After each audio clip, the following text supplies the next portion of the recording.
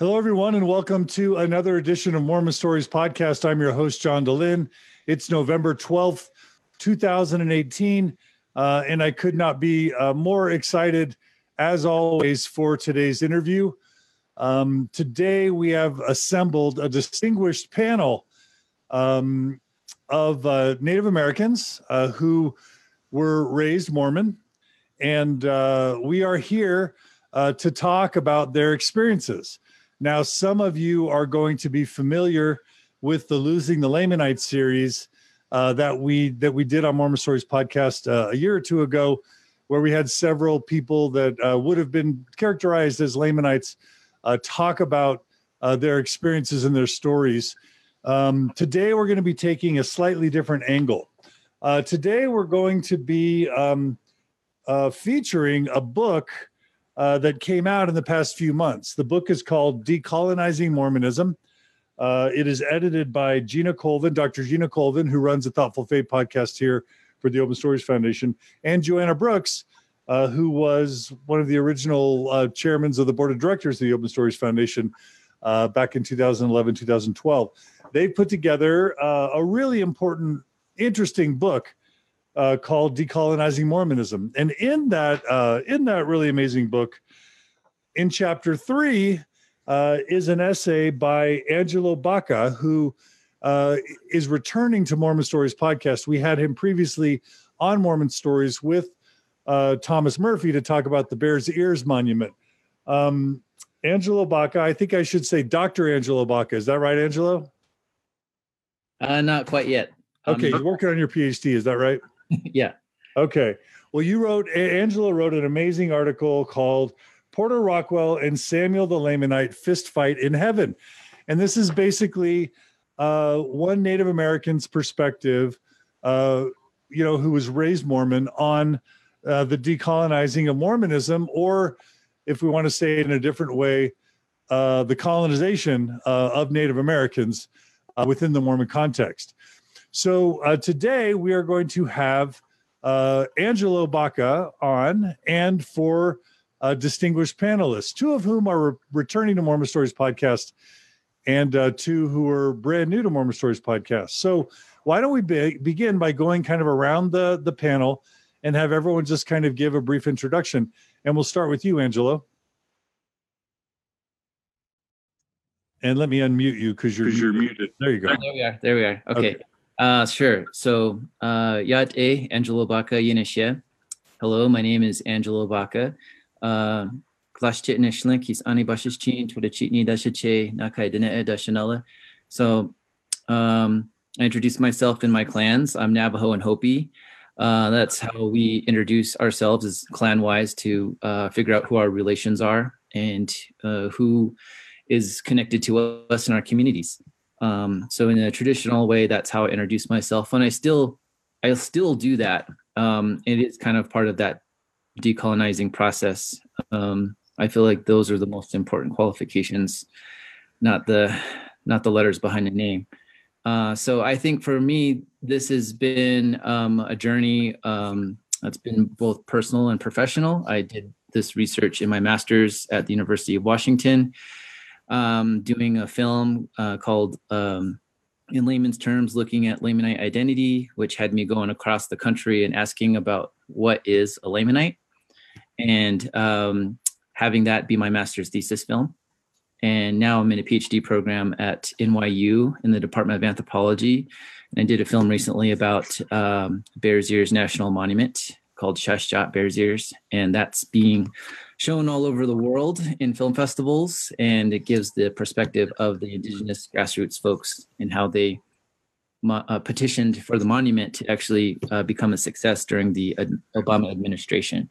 And I think all of these um, have deep ties to both Utah and Mormonism.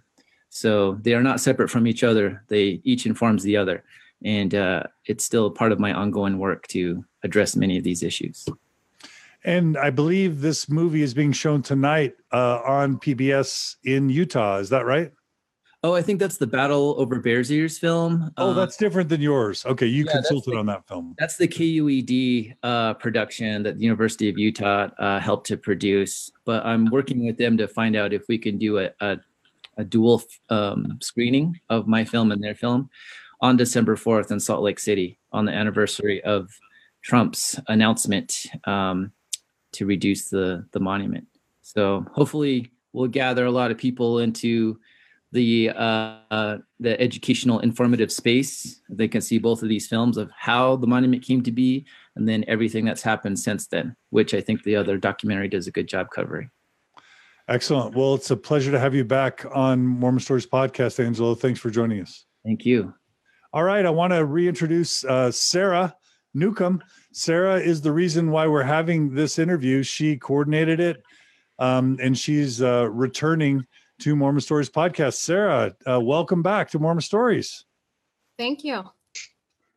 It's great to have you. Tell us, uh, tell us, tell us. Those of us who don't remember your interview, tell us a little bit about yourself, if you don't mind. Um, I am Tsimshian of the First Nations Eagle Clan. Um, it is a matriarchal society, and the Eagle Clan in our society is passed down matriarchal, matriarchal, and is a family identity also. Um, I did, I've uh, done the LamaniteTruth.com website where I talk about different historical issues within Mormonism and how it relates to Lamanites. Um, and I did, yeah, one of the Losing the Lamanites episodes. One of the things that kind of hit home that um, Angelo already said was just some of the ways that he's how he identifies himself is one of the ways that helps him connect and that's something that's been true in my case too. Um, we have a saying in in Tsimshian that's apaga nalepulishim which means remembering our own and that's definitely been a journey of reconnecting with language and history and and remembering where i come from so i love it well, Sarah, it's a it's a pleasure to have you back on Mormon Stories podcast. Thank you. Uh, Hyrum Joe, uh, welcome back, and give us a quick introduction. Welcome back to Mormon Stories podcast. Yeah, for sure, absolutely. Happy to be back, John. Uh, Yat e Hyrum Joe. Uh, my first clan is Nato Dene, uh, tobacco people, and Red, Red Running into Water uh, people, and uh, born for the Ute clan. That's my father's side we got a got a little bit of mixture there, uh, Navajo and Ute. Um, I uh, did a podcast a couple years ago. Was was one of the most amazing experiences of my life, and um, I just want to say that I'm happy to be with the rest of you, uh, fine people, and um, looking forward to good discussion, good talks, and um, uh, hopefully we can garner up a lot of people for this for this uh, interview and podcast. So um, just happy to be here. All right, thanks, Hyrum. Cam, uh, Cam, Cam, and I have known each other for several years now, uh, but this is the first time Cam uh, Lebbon has appeared on Mormon Stories podcast. So, Cam, tell us a bit about yourself. Hey, yeah, my name is Cam Lebbon. Uh, I really appreciate you doing this, John. Uh, first of all, I just wanted to mention that uh, it is Native American Heritage Month this month, and that's why I was I was really excited to be able to do be a part of this podcast. Um, I was actually born in Page, Arizona. My father is Bilagana or, or white, and my mother is, is Navajo or Dene. And we actually, we I, I, I try and say Dene. I don't usually use the white man term for our name, uh, Navajo. So I, that's what I try and uh, use as well. Uh, but I, I grew up in, in a small town in Utah, uh, Delta, Utah. So I was I was raised with with um, uh, white traditions and really lost a lot of my native traditions. Would go back once a year, but um, really didn't know uh, about the Navajo traditions and, and, was, and felt out of place, as well as you know being in Utah, I felt out, out of place with with, uh, with my color and only being the only native family in the in the city it was it was really tough. So I really had some some tough um, times trying to just learn which where I fit in uh, for to this to this world. And so, and I can speak a little bit more to that as, as we go on. But I went on a mission to Colombia when I turned um, 19, of course, and and came back. I got married in the temple and lived lived a Mormon life until I was about 38 years old. When I uh, found Mormon stories and um, a lot of other podcasts and a lot of books that, that really taught me what I what I hadn't learned all my life and helped me to uh, you know move move out of the Mormon life and actually start finding my my traditional life a little a little more. so I've kind of grasped onto the native ways rather than uh, actually living a Mormon life. And you've invited me to come hang out with you uh, and yes, participate. yeah, you're going to do a sweat with us one of these times in uh, in Cameron. If I'm uh, if I'm welcome, I'd, it'd be an honor. So thank you.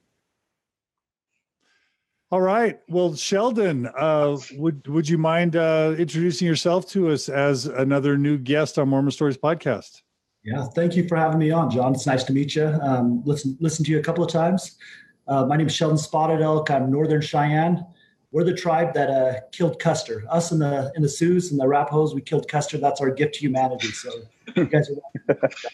Um, but also I so I originally from Montana, but I grew up most of my life in in San Juan County, Utah, in Blanding, Utah, um, where my mom is is she's white and she's um, Mormon heritage all the way back to the founding of the church, um, and very proud of that that Mormon heritage.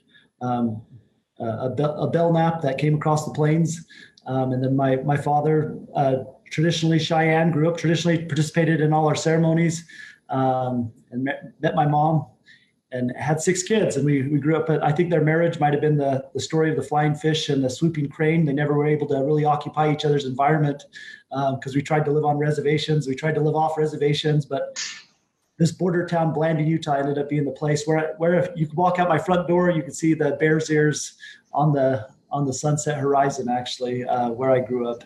And so that's, that's, and, and that ends up being like one of the most uh, racist uh, towns when it comes to white Indian relations and, and some of the hypocrisy that you could see within Mormonism and, and this Lamanite narrative. Um, this that we're degenerates, you know, that we're degenerate Jews, you know, that this narrative that Mormonism, the central premise of Mormonism, if you, some would say. Um, but that's where I grew up. I'm a lawyer by training. Um, I, I, do a lot of work with tribes. I, I used to represent kids in, in, foster care and juvenile delinquency, but but now I, I, I do some national work and, and get around quite a bit um, in Indian country. I haven't actually been to uh, inside of a Mormon church for about 10 years either. So, so it's been a long time, uh, but I did go on a Mormon mission. Um, I went to Chicago um, in 2000 to 2002. So I, I, I, did the whole two years. And for that reason, I know I could, I could do anything for two years. Doesn't matter. I could do anything in this world. I could go to prison for two years. I, I know that. well, welcome, Sheldon. Welcome to all of you. Um, again, uh, today, if I had to give an overview of what this what today's session is going to be about, well, we're, we're basically going to be talking about colonization.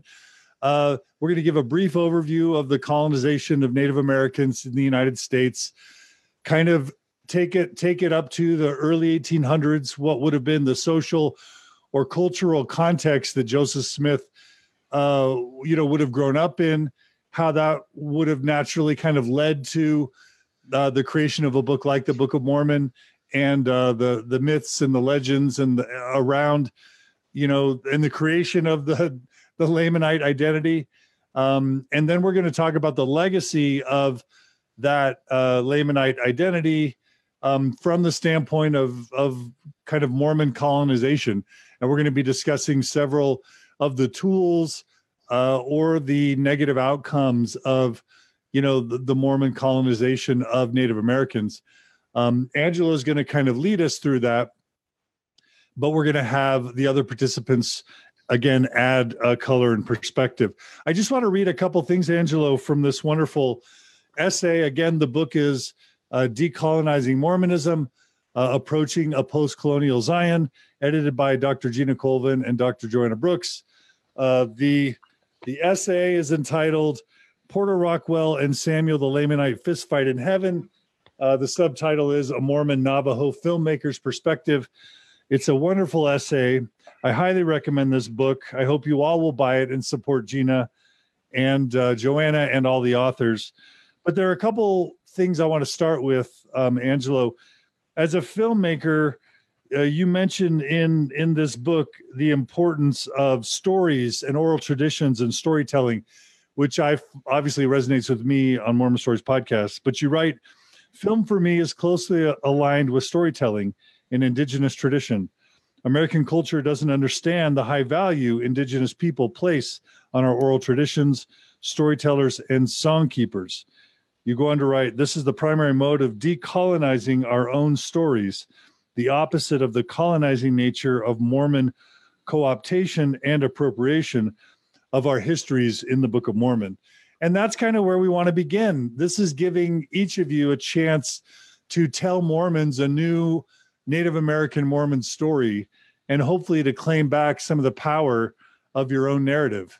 Um, so I thought, Angelo, might be good to begin with, and I know this is going to do it a grave injustice, but kind of a brief history of Native American colonization and the background that listeners would need to know uh, to then understand the context of Joseph Smith and the creation of the Book of Mormon. But before we dive in, do you want to do any framing or setup to this conversation so that it goes aligned with your desires and preferences and and sensitivities?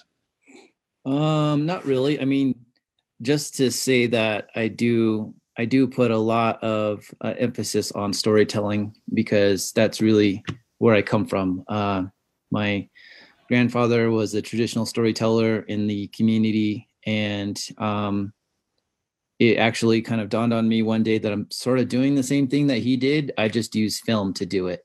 So I'm sharing people's stories. Um, I'm also, you know, trying to document oral traditions, history, culture, language, uh, keep that and preserve that for our future generations, mostly for our community because that's that's who it belongs to. Um, and I'm also do work in terms of talking about traditional and indigenous intellectual property. And I know that's kind of a fairly new emerging field because, um, you know, historically, the archives uh, favor non-indigenous people and they've co-opted our stories they've taken them they've had them um, you know uh, documented and given different names uh, other authors other people get credited for our stories or our images or even our medicines so there's lots of these different issues of talking about why um, certain things are the way that they are in the world that we occupy and how these lived realities have multiple layered meanings. Um, it's kind of the reason why um, I sort of gave this a cheeky title, right? It's like the the play on the title of um, Samuel the Lamanite um, and, and Porter Rockwell is basically uh, from uh, Sherman Alexie's title about the Lone Ranger and Tonto fistfight in heaven, um, because from that artistic perspective, you can see that these are two key figures in pop culture, and yet they're thrown for, for our for our millennials out there. Yeah. Tell our millennials who uh, Lone Ranger and Tonto were, and what was kind of wrong with that representation, so they understand the reference. I don't even know where to start with that. Um, the Lone Ranger and Tonto did a terrible job, as much as the book. It was a TV show in what the fifties. Yeah, it, it it was from black and white times. It basically pitted this uh, um, white law enforcement ranger um, as the leader of these these two this duo, and Tonto was this uh, Indian sidekick who was basically reduced to you know just some Indian speak and grunts and groans to really emphasize that uncivilized characteristic of the the savage nature of indigenous peoples. Um, so I really kind of think it's quite fitting, actually, if you really think about how ridiculous it is. It's you need one to to support the other. There is no hierarchy and there is no leader or dominance of another unless there's allowed to have an opposite. So they illustrated both the apex and the lowest level of civilization. And I think that's the same thing that happens here in terms of the Book of Mormon. Uh, using indigenous peoples as Lamanites it gives us a real subhuman position. Um, and that's, you know, it's important for us to recognize the power of story. For Native peoples, this is key to our creation stories or oral traditions. Some of these stories have so much power that you can only tell them at certain times of the year. So, like right now, we're, we're moving into that phase of winter when you tell some of the most sacred stories. that give you an insight into the world that are packed with cultural traditions, with lessons, with uh, history, and they give you um, many different cultural and spiritual insights. And I think that you know it's important for us to go back to those traditional stories and to know why those are important. Um, because you know when I was growing up, the church had this huge influence of don't learn those traditions, don't learn those lessons because those are the lessons of your ancestors. We have the truth, we have the real story, and you should listen to us. And I thought there was something fundamentally wrong with that from the very beginning. Just didn't know how to put my finger on it or articulate it very well. So hopefully, you know, trying to write that into the story, it will flip a switch on into other people's minds when they read it if they also have similar questions because i'm really emphasizing the need for people to think and intellectualize their positionality in all of these traditions and stories and to you know understand where their hearts and their minds have to find a balance. Um, some people do that very well. Some people are both traditional and also mormon. Uh, some people reject it outright or some people kind of go back and forth you know? Uh, there's a story that when i was over at the hill Cumorah, you know a guy we were interviewing said his aunt she tried on several religions like they were outfits you know? And i think this is it's telling it's really interesting for um talking about religion and native peoples we've always been accepting of many people's faiths. We've we've always been tolerant and inclusive and you know um supportive of community and peacemaking processes. And i think if anything is untrue it's that you know that we're filthy that we're wicked that we're savage. Um, it's quite the opposite. We're the ones that have been extremely tolerant, inclusive, and loving to many different backgrounds, cultures, people. Thank you. That's a great introduction. Um, Angelo, if it's okay, uh, and this is really hard to do, but let's just say you're talking to some high schoolers or, or college students that haven't really had a decent American history course, and they have just a general understanding of American history and Columbus and you know the the um, you know 17th and 18th 19th century Western America. Um, if you were to give them an overview of the colonization of, of Native Americans, you know, how, what, what would that overview sound like? What what would how would you begin the story? How would you tell the story? Well, I think that there are there are lots of places to start that story. Um, but the i think the challenge is that you have to meet people no matter who they are even if they're high schoolers or even if they're professors. You have to meet them halfway and you have to figure out where are they in terms of knowing what the actual histories are and the facts the data the information that they can utilize to come to an understanding in a more comprehensive way and um, I've been finding because I've been doing both of those in these spaces that it generally is almost nothing. They almost have no background, and you kind of do have to start from zero. Um, and so, the best way that I found to talk to people about it is to really um, think about things in a way that isn't just lineal. You know, just like here's the calendar here's you know um, how these uh, centuries have piled up and here's where we are stacked in into history. Um, there is no better example i think of a place that collapses the the past the present and the future than bears ears.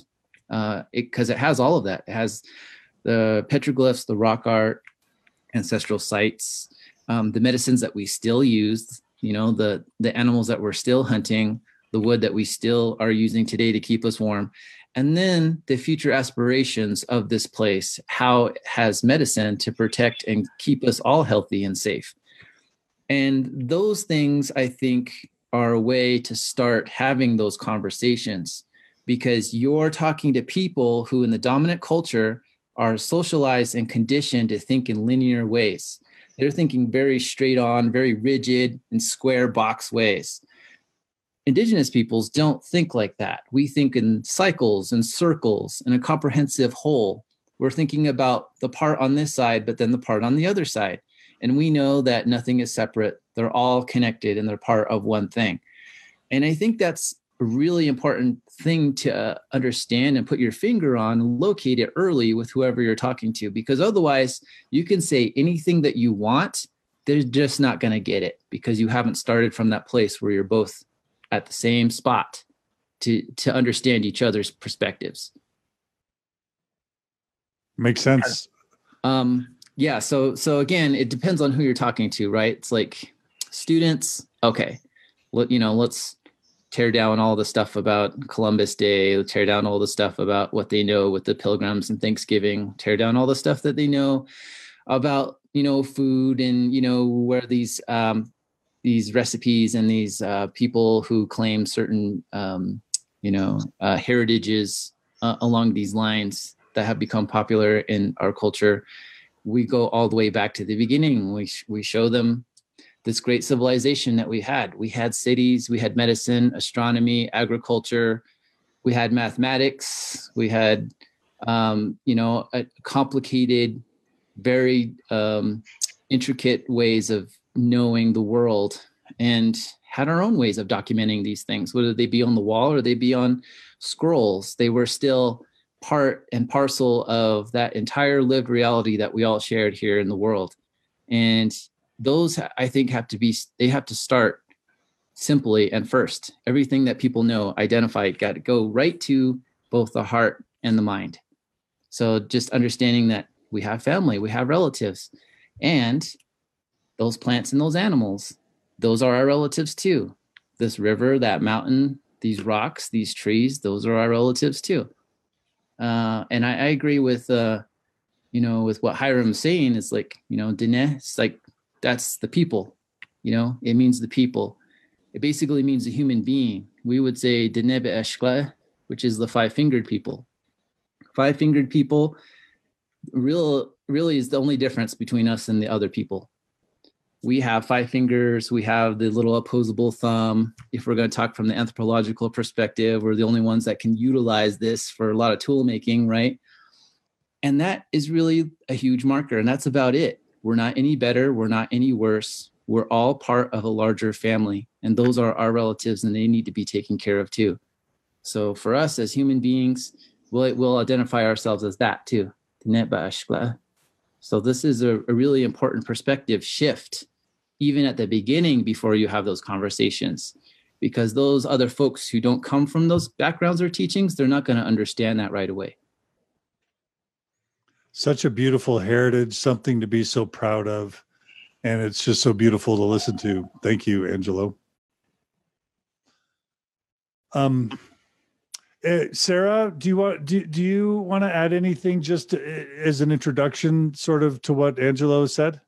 Yeah, I have, I have a couple comments. Um, one, I think I shared it in one of the podcasts I helped with, but what he just finished with, one of my favorite quotes is Chief Seattle's um, of, I'm probably going to get part of it wrong here, but uh, humans have not created the web of life, but are one thread within it. Everything is, uh, or whatever we do to each other, we do to ourselves. Everything is connected. Everything is bound together. And that's, and everything being all life. Um, and that's definitely something that I've connected with just naturally um, as I've reclaimed my own identity. But I do see such a difference in how I believe versus um, where I came from and having some of the conversations that I've had with people from different backgrounds that there's that that difference of thinking does create a challenge. Um, the one thing I was going to add too was earlier this year, I had the opportunity to talk to a you know 19 20 year old right in there um, missionary who told me that native americans didn't have religion when columbus came and uh, that's why the restoration was so important um, and so hearing her say that surprised me because obviously we are very religious people, but it helped me realize that that colonization of of religion, which has been a huge part from the very beginning. And I think understanding that the people that came and colonized were extremely religious and viewed their religion as how they how they thought. The it, it formed it formed their viewpoint of everything that they had to deal with in life, how they saw other people. Um, and that was one of the challenges I think that was a massive challenge in in the very beginning of colonization is not understanding our our religions and our our uh, way of life, way of thinking, connection to everything um, was demonized or talked down to instead of embraced or understood. Thank you. That no, that's great. Yeah, that's great.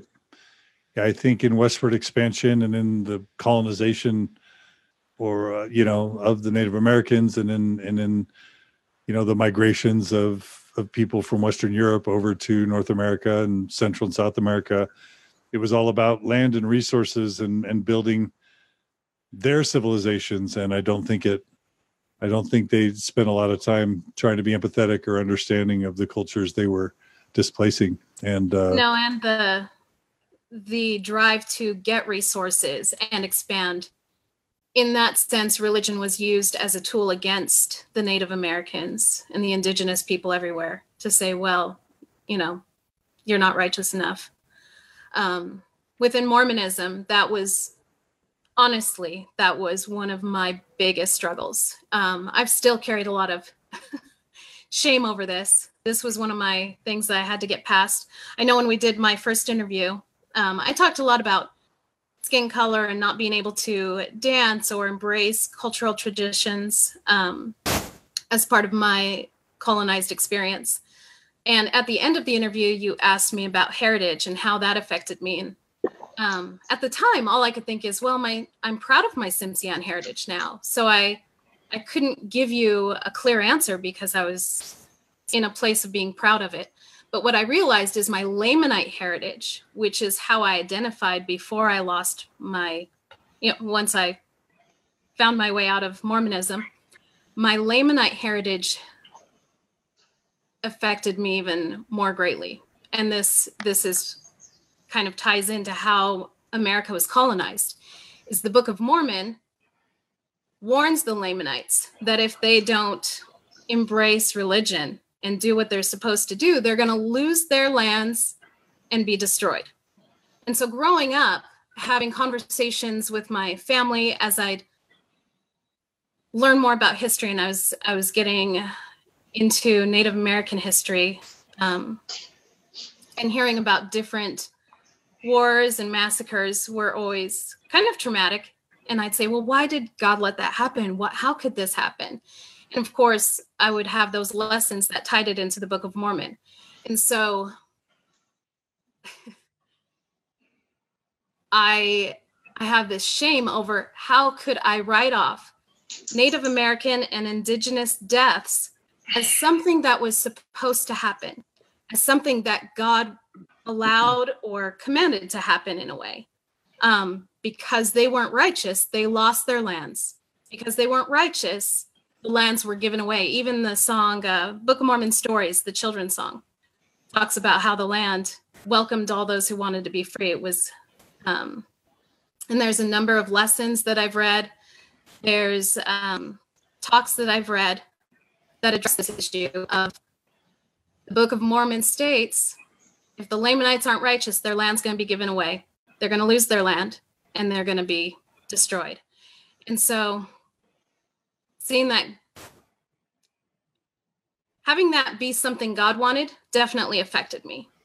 Instead of it being, this is history, you know, humans do things, and approaching it from a more intellectual standpoint, it tied God into it. And I think that's a tad nefarious too, but it it's how America, you know, was colonized was through this same process of using religion as a reason to take the land. Thank you, Sarah. I, I want to get the other panelists in, but but Angelo, are you comfortable just giving us a little bit of a? Let's just say that the the common narrative that most Mormons hear is that that you know Native Americans are are the descendants of Lehi and Nephi who came over on a boat uh, 600 years before Christ. Um, maybe there were some other small groups here, um, but but basically the Native Americans that ended up bumping into uh, or being dominated by, you know, kind of westward, you know, your Western European expansion in the 19 in the 18 1900s, etc. Um, you know, Joseph Smith would have would have been bumping into or or on the frontier exposed to Native Americans. Um, and you know, you know, we all know from the Book of Mormon narrative that that uh, that there was a light and dark skinned group over time that God cursed the the bad the bad ones with dark skin so that they'd be dark and loathsome. Uh, you know, to the lighter skinned Nephites, and eventually the the light skinned um, Native Americans were killed off by the dark skinned ones, and and that's who Joseph Smith and others in the 1800s would have been seeing. You know, that's just a really brief version of you know what what most Mormons would think of with the Native Americans, and that because of their wickedness they fell into savagery and and um, uncivilized behaviors. And you referenced that a bit.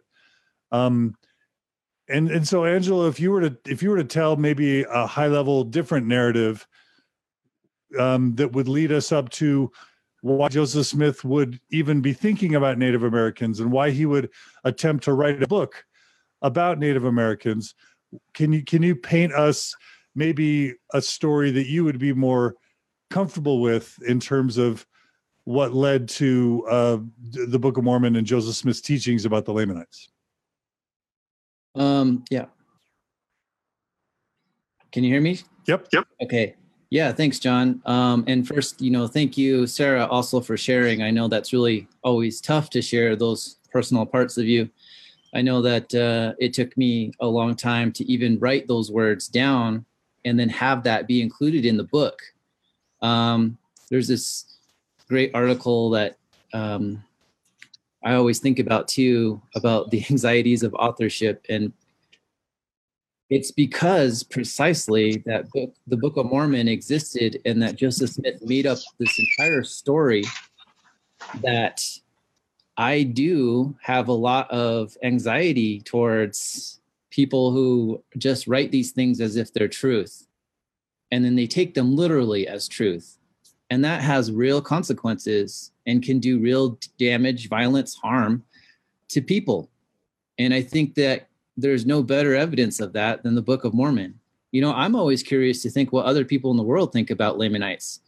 Like i know the the church's efforts to convert people are pretty steady and and um you know they're going full tilt over there in africa. They've pretty much given you know up on latin america because they've already done as much as they can in terms of pushing indigenous narratives against the wall with their own narrative about what a Lamanite is. And it just makes me think why aren't they asking those questions? Why aren't they questioning their own indigeneity? Why aren't they talking about why uh, Native Americans and their own culture are being appropriated and see how that they are also being utilized in this larger machine to justify many of the acts that have been done historically and contemporarily by using this narrative. And I think this is really something that it bothers me so much that um, you know it, it it it makes me think about the power of story. And it's not just in getting information right, which that's super important, but it's who's telling the story. You know, it's it's not the it's not the river it's the source of it, right? The source of its mouth. And you have to think about why did Joseph Smith take these ideas, appropriate them, use them for his own? And the answers are really simple once you look at it. He was a grave robber. he stole things out of you know dead people's graves he was convicted of these kinds of acts over and over again there's court records of it um, he was close to the seneca and the haudenosaunee countries he knew about their culture he knew about um, the, some of the things that they did the kind of spiritual and cultural traditions that they had. Having that direct connection to god the one-to-one that you would have as a person to the creator and not having to go through some kind of hierarchy where it would be like you know the pope or other priests or some pastor or something that you could directly connect to god. And there was all these things that talking about um, how these traditions were informing the conditions of the people in those places and he would just start to utilize all of these large claims that he had no proof of that sounded grand and sweeping because it was different it was super different than anything else that existed in his town of Palmyra or New York, or even in any of the uh, the other states of, of America at that time. So it was, in a way, very attractive because in people's minds it also it was different, but it filled in a void about how did those American Indians get here? How did those indigenous peoples get here? Because we were told in the Bible it was Adam and Eve. And then we were told later that, you know, these migrations that were in the Bible are the truth. And so our literal existence, our physical embodiment of being present in the land was confusing and strange to these newcomers. And you have to remember many of the people who came over to this country, they were already seeking refuge and asylum from their other countries because they were borderline religious fanatics. And they were doing this stuff on a regular basis and making it normal. And and that's why it's really important to know the difference because this country is so young. They haven't figured it out. The direction that they were headed in was incorrect. And it's the same in so many other human and uh, you know uh, communities that people displace people displace other people colonize people colonize other people and that is really the fundamental root of how the country got started. Because once they started doing that to us and they had westward expansion, manifest destiny, and they were heading this way, the Mormons started to do that to indigenous peoples too. They claimed to be, you know, uh, marginalized, to be oppressed, but they were doing that to us too. And I fail to see where they have any justification in doing those actions or making these claims. Um, they actually have to see all the way back to the beginning, even before they got here, about what the truth actually is of indigenous peoples. What what just give people a sense for how Native Americans were treated. I, I know that someone who's done a little bit of studying of history will know that it is quite um, astounding and horrific. But can you give people a sense for what was going on in the 15, 16, 17, 1800s as the as the Western Europeans started colonizing North, South, and Central America? What happened? What did they do? Uh, so this is kind of just the standard. Um, the the the reason why people came out here into the early Americas into these indigenous spaces was because they they wanted land. They wanted money. Uh, they were looking for precious minerals um, anything that would make them rich or give them, um, you know, lands that they could own. Um, and I and I think this has still been carried over um, into our modern way of thinking. We've really appropriated ownership and you know market capitalism as the way that we think things should be. But you know, if you think about even all the way back to um, one of the early theorists about ownership, John Locke, he said, in the beginning, all all the world was America. And that's that's a quote, direct quote from him, meaning that he was thinking that all the world was basically virgin land to be conquered and owned, to be cultivated and to be made property. And this is the mindset back then, and it's still the mindset now. So a lot of horrible things were done slavery, massacres, genocide, disease, warfare, famine, displacement, removal, internment. And a lot of these things can still be seen. The effects of all that historical trauma, the recovery of our generations, the injury that's been done to our elders, to our traditional knowledge, knowledge holders, and our sacred spaces. Even from the first week that people got here to these shores here on the east coast of the United States, they began grave robbing and they haven't stopped. And, you know, we've had to produce these new ways and these new cultural ceremonies and processes for things that had never been done before because no one ever robbed the dead. No one ever dug them up. No one ever had to bring them back home. So these are things that we're still dealing with. And I think, you know, um, it would behoove a lot of Mormon followers and folks of the church to understand those atrocities of history and would give them a better idea of why we feel the way that we do and why their versions of history trying to overshadow or appropriate our own are detrimental and very damaging. Um, I, would like to hear from some of the other panelists, John. What do they think? Let's do it. Um, uh, Hyrum, why don't you jump in? Uh, yeah, absolutely. Um, wow, I I'm super excited about uh, uh, what has been discussed so far from Angelo and um, Sarah. Good things. I'm I'm pretty much on the same page as, as you guys. Um, gosh, as far as far as uh, you know, the colonization, um, y- you know, to go back in history, I'm glad to hear some of that coming from Angelo. Um, I mean, you know, just to give you an example, uh, I don't think it was until 1924 that Congress um, gave citizenship to the Native Americans. you know, as indigenous people. Like that's just another example. Um, and then in 1954, I believe that's that's when some states actually um, allowed you know some of us to vote. Um, you know, you have that time period in history, and uh, you know, for me, that the whole idea, the Western kind of rhetoric, you know, as far as using the terms, you know, uh, Native Americans being um, savages and uh, murderers and thieves and beggars, I mean, you know, you, you can't help but parallel those derogatory terms with the ones in the Book of Mormon.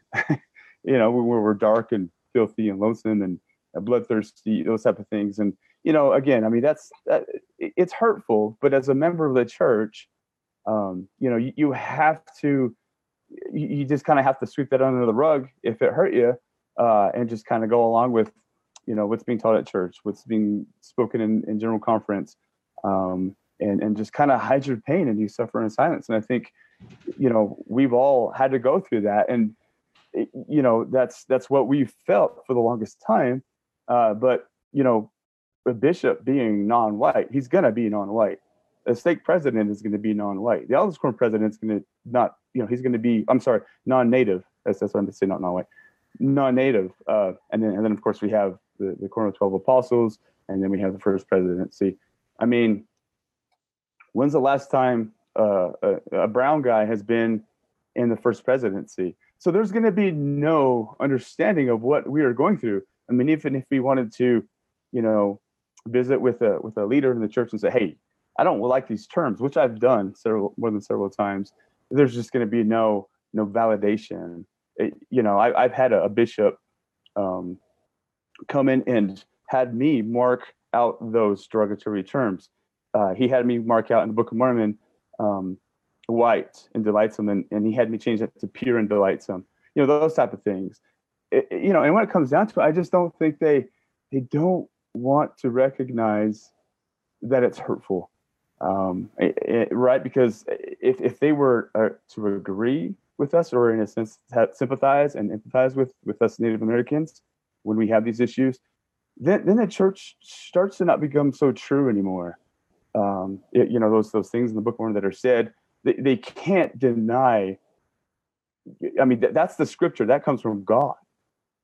But for us, it, it hurts, and so it does it doesn't affect you know the leaders of the church. And you know that's one thing I wanted to bring up. But um, you know, I, just for an example, you know, I mean, I have I have a little bit more to say about the Indian placement program. Um, whenever you're ready for that. Um, Absolutely, we'll definitely get to that in my um in my hometown there was a uh, a branch a part of our stake here called the alma branch and um, it, it, was a, a, navajo speaking branch at the time this was between 1980 roughly to about 1985 and um, it, you know it, it was a it was a branch that i never attended Um, but my father certainly had a, a, part of that. He, he attended there. Had a grandmother who went probably full time, um, and and basically it would be the same as a as, as Spanish speaking branch today. Um, and when Spencer W. Kimball had passed on, um, I, I, believe Ezra Taft Benson kind of, you know, came down or, or, sent representatives down in this in this area and kind of just aborted that whole you know idea of having an Alma branch for the Navajo people. And I believe it was the same year they they kind of you know got rid of the term uh, Lamanite generation and you know that turned into uh, Living Legends, I believe is what it was. I don't know if that's still going on at BYU, but um, it it just it, it kind of seemed like you know Ezra Taft Benson. I know he's related to you, John, but no, no uh, um, I'm not I'm not trying to do any um, hurt for that, but yeah, I I uh, I believe he was kind of the one that took away that whole you know it, it felt like at that time we were maybe starting to blossom as a rose, as you know the promise says in Jacob, um, and that the Lamanites were being validated, like, hey, we have this this branch, you know, for us, for our people. You know, we have we have this this organization at BYU. This is for our people, and so you know, it kind of goes along with the lines of, hey, you know what? Maybe we are special. Maybe what our leaders are telling us at church, it really is kind of come to fruition, and and it, it you know, it, it kind of did. It made the people in this area feel like, hey, maybe God is recognizing us through His His prophet um, but they did away with all that, and Navajos became inactive. They they stopped believing in the church, um, and uh, you know, I just for me, you know, that's just an example of of you know some of the things that happened. And and so I, I went online. I, I, googled the Alma branch in Kirtland, New Mexico, where I grew up, and th- there's nothing. You can't find anything on it. There's no history. There's nothing recorded. Um, and uh, talking with my dad the other day about it, he says it's it's just something that this town does not speak of. uh, no, nobody wants to bring that up. Kind of like, you know, the, the priesthood ban with the blacks and the priesthood, that type of thing. It's just not going to be spoken of. So then again, it's like, well, you can't, you can't just. I mean, this is something that people have questions about. Um, and uh, you know, just, just they just want to sweep under the rug type of thing, and that still hurts. That still hurts a little bit. But um, anyway, I just wanted to bring that that segment up. Thank you. Um, to reflect what you said, Angelo, uh, when you were referring to Sarah's comments, it is a deeply personal thing to be sharing these sorts of stories. Uh, they're very emotional, they're very traumatic, they're very personal. And so, for all of you, I want to reflect Angelo's um, sensitivities and say thank you for being willing to share such personal things. Um, thank you. Does anybody have a sense? Uh, of a number of just how many Native Americans have been estimated to have been sort of killed in the colonization efforts or who have died, let's just say prematurely, in the colonization efforts that happened from whatever 1500 to 1900 or 2000. Does anybody, has anybody, is a scholar or an academic ever tried to come up with a number?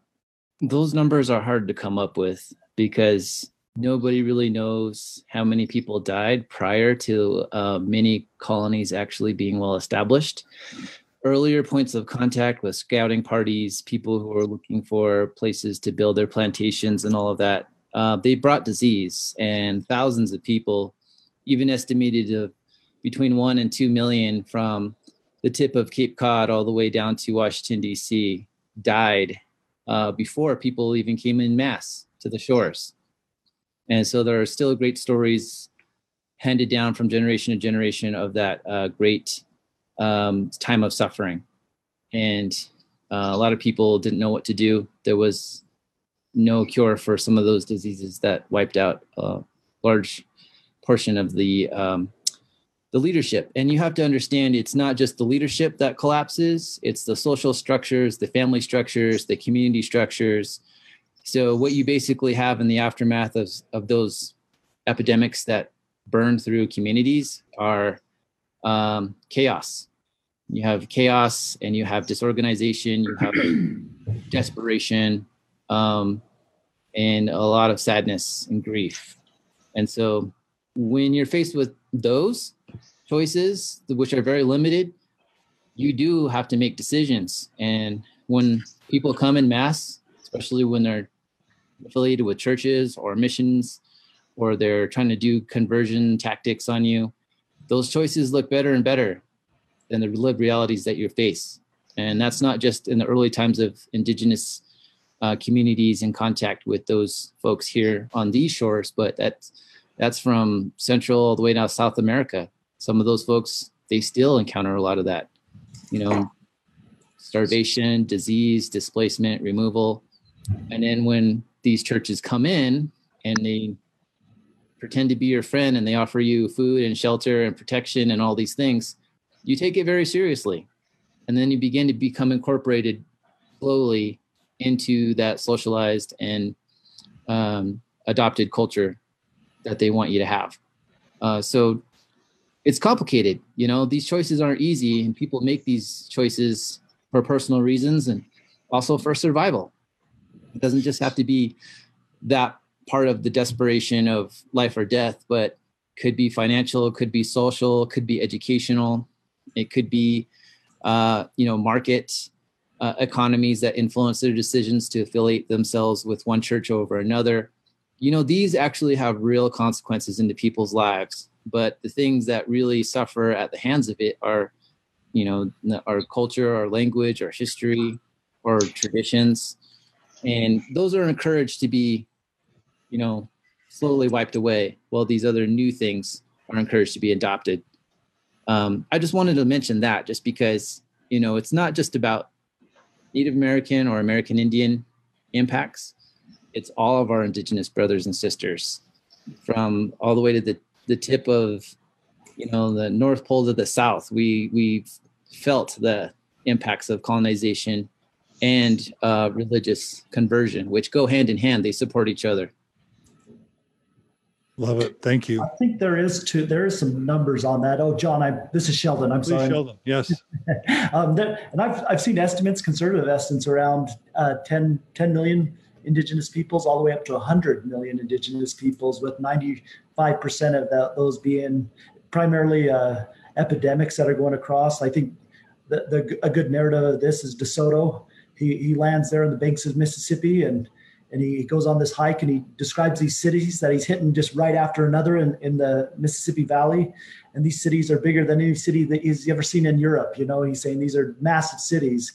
And he comes back years later and, and they're devastated. Nobody lives in these cities anymore. They're, they're completely empty because of, of disease that was at, uh, the domestication of animals and the diseases that Europeans had because of that. They were they they ravaged these these communities actually um, of indigenous peoples that were in, in, the Mississippi Valley. So I think there. I, do, I wanted to hook on to one other point really quick, if that's okay. Please. please. Uh, and it's that notion of the his, history by and the and real consequences that Angelo talked about. And there are real consequences if you look at the history of, of America. And I think there's it's interesting studying federal Indian law. If you look at you, you could put these timelines next to one another. You know, uh, one of the very first cases that go up to the U.S. Supreme Court that have to do with Indians, uh, that usually starts the, the the Marshall trilogy is what they call it, is Johnson v. McIntosh. It's an 1820 case, 20 years before the founding of the Mormon Church. Um, this case goes up, and this case has significant impacts of uh, of land holdings here in America. Um, and it's interesting. There's not an Indian in the case. Actually, it's it's an argument between two white guys of who has the the correct title to the land. Um, one guy's tracing his title to a trade that he made with the local tribe in Illinois, and the other guy's uh, tracing his claim to the United States. And so, could could Indians give title? Uh, through a cession is, is really the legal one of the legal questions that uh, is is up there and the answer you get out of this racist this racist notion of the doctrine of discovery that, that Indians are unable to hold land, you know, and, and, and all these notions that are, are talked about earlier before by, by, by some of our panelists, these ideas around manifest destiny.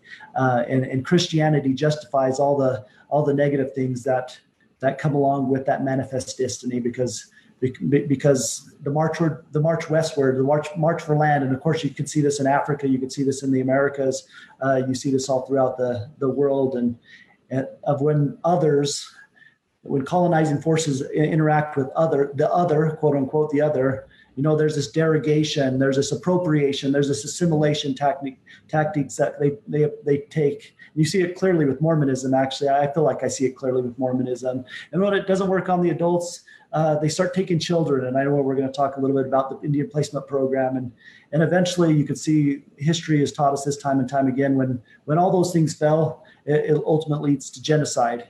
Um, and, and when we and especially when it comes to these ideas around truth, uh, existential truth, even, you know, like what's, where do you go when you die? You know, I think there's a lot of people that have there's there's psychological anxiety around that, and if you disrupt that in somebody, there there's there's a lot at stake right there. You know, there's so much at stake, and you could see that a lot with Mormonism. People that leave Mormonism, you know, like just that how how difficult it is to transition out, and so that there's some dynamics in that. I, I one last point too, because I look at so my, my father, who converted to Mormonism, I, I think maybe in the 70s uh, or late 60s. Um, and I look at that generation of American Indians that that converted, and, and we're taught the Lamanite narrative, quote unquote, the Lamanite narrative. I, I, and you can see the similarities between this idea of liberation theology, because I think what the Cheyenne tradition, you know, he grew up traditionally Cheyenne. We have a cultural hero, you know, we have a religion. I know Sarah was talking about how missionaries were saying, hey, we didn't we don't have any religions. Like we had a our cultural hero, sweet medicine. You know, he taught us the way of life. He taught us our ceremonies. He taught us our our government structure um, for Cheyennes. Um, so my dad had all this in place, and I think being and Cheyennes, we actually, and a lot of tribes actually, we were very wealthy. We lived very wealthy lives, um, and being placed on a reservation and and seeing people die of hunger, you know, starvation, and, and seeing that was devastating. I I can imagine to our psyche, you know, like it was devastating to, to, to see all these promises. And I think Mormonism offered that promise, you know, and I think my dad, my dad went to BYU, um, on part of the, the BYU outreach to American Indians. Um, and I know a lot of American Indians, actually a lot of, a lot of lawyers actually from that generation went to BYU for undergrad or law school, you know, like I, it's interesting. This whole generation of, of older lawyers went, were part of that because I think it was part of this liberation, you know, like here's, here's a narrative that you're going to be running things at the very end. You know that your Lamanites are going to. I heard uh, Hyrum mention that. You know, blossom as a rose. That promise, which is should be in place before the second coming of Jesus. You know, the, that that that Indians we should be running things by the end of the end of the day. And I think that was something appealing to that generation. It, it's hard for me to speak exactly what my for my father, but I but I hear that a lot in a, in a lot of what older American Indians that converted to um, Mormonism but but there is that also idea. I'm going to throw another jargon idea in there. Is uh, W.E.B. Du Bois. You know, he talks about that notion of double consciousness, uh, of being able to operate in this world where uh, Mormonism sees American Indian and being conscious of that, of how Mormonism sees us as American Indians as as as lost people, as fallen people, uh, with heathenistic cultures, with savage cultures, you know, and so being cognizant of that and being able to operate around that and I, I, think a lot of people, like people that are exiting out of Mormonism, I, I, think you could see a lot of communities that have been affected by. Um, I, you can see the LGBTQ community, you know, the, the, the high rates of suicide and being awake to that, you know, like and and, we could empathize around that of how Mormonism is both the, the colonizing effect of Mormonism has affected both of our communities in very similar ways uh, of course, there's nuance, but very similar ways of, of how it's affected in our psyche, of, of, how we see see ourselves when we look in the mirror, what we look at when we look at our skin. You know, so it, it's a significant thing. So I just wanted to add that in there. I, I appreciate you letting me jump in. Love it. Thank you, Sheldon. Hey, John, I, I did. I grew up in that that generation as well, where we were, you know, we'd go to the Lamanite generation every year at BYU, and, and we we were very proud to see our heritage up there and you know, uh, every every Sunday they would they would talk about you know the Lamanites blossoming as a rose. But what what does that mean? Blossoming as a rose. I, I never was told what was what it truly meant. Um, we thought, okay, well George P. Lee, he was uh, 70 from 1975 to 1989. I mean, he was he was one of the uh, general authorities. okay, there, there it is. We are starting to blossom as a rose. Maybe that's that's it. We're going to start having some more leadership in the church. And so I, that's what, but we never understood. But every time I would, I would go to church. Oh, you're a Lamanite. You guys are going to be blossoming as a rose. What does that actually mean? Uh, one of the things that was written in the Book of Mormon that we haven't touched on is in the very front, it says the Book of Mormon was written to the Lamanites. And so I always felt, oh, this is my history. This is the book of my family. This is my, my, my historical book that I need to read and I need to pass on. And, and when I talk to my friends and family, I need to make sure that they're reading their history. And so the history was always, always different for me. But I, I until I could truly understand where I came from, it, it was always the narrative of the church that was that was telling me where I came from and telling me how I how I'm supposed to live. So um, when George P. Lee was was uh, actually um, excommunicated, that really hurt my view on things because okay, now we lost a general authority that was Navajo or that was Native American. Okay, now now where do we go? And so that was that was very tough on us. Um, one of the things that he said that um, it, when he was quoted uh, when, after being excommunicated was he said he talked about the church and he said that the, in the church there's no room for righteous men and women but there's plenty of room for those that love pride arrogance power money position and exercising unrighteous dominion he came from a uh, his his father was a medicine man in the in the Navajo tradition and he said when he was before he became a mormon he believes that he, there was a real need for a spiritual rebirth, and that actually he was more spiritual before he became a Mormon as a as a Native uh, Native American uh, in, in, his uh, traditional beliefs. But that one thing that when we talk about our traditions being lost, that was really tough for me too because I didn't really learn the traditions of, of the Native Americans. But when I would go down, I wasn't taught. Uh, just a quick story. I was I was in a in a prayer circle, and in this prayer circle, there's only men inside this in the Hogan that we were doing that, and I was only about 12 or 13. But so they they passed me a sack of pollen, uh, corn pollen, and I put it in my hand because I was watching everybody else do it. So as I put it in my hand, I would look around and I didn't know what to do with that corn pollen. I would see people go up and look towards the east and say some words, and and I really truly didn't understand. So I looked to my my cousin who was sitting to the left of me, and I and I, I, I kind of shook my head and said, "Okay, what do I do with this?" And and because he was my cousin and he was teasing me, he said, you know, just just lick it. And so I did. I actually just licked the pollen and, and swallowed it as the whole the whole thing. Everybody just started laughing at me because I, I didn't know what my what to do. And I was raised. I wasn't raised in that traditional traditional uh, way. And so, uh, just something that I wanted to share is that, that we did. We've lost a lot of tradition because I was raised in this way. My mom wouldn't let us do the traditional beliefs. Maybe she would she would say, "No, we get the, we have the priesthood. You got to do the Mormon way. You don't you don't do this way. This is a lost way. This is this is not the right way of doing uh, of, of, praising God. And so yeah, that just we lost a lot. So like I said, it was a I was very proud. Had a lot of pride in the Lamanite generation going to that every year. And when they changed the name, I, I didn't understand. I couldn't understand. And why would you change a name when that's who we are? We are Lamanites. Why would they say that if mean, they called us that in the, in the book of Mormon, yet they changed it. They, they said, no, we're no longer Lamanites. You're something else. So it was, it was really tough for me, very tough. Cam and Sheldon, thank you both for sharing again such personal stories. Uh, this is very uh, useful, uh, powerful. It's very um, emotional to to have you share such heartfelt uh, stories. Um, thank you.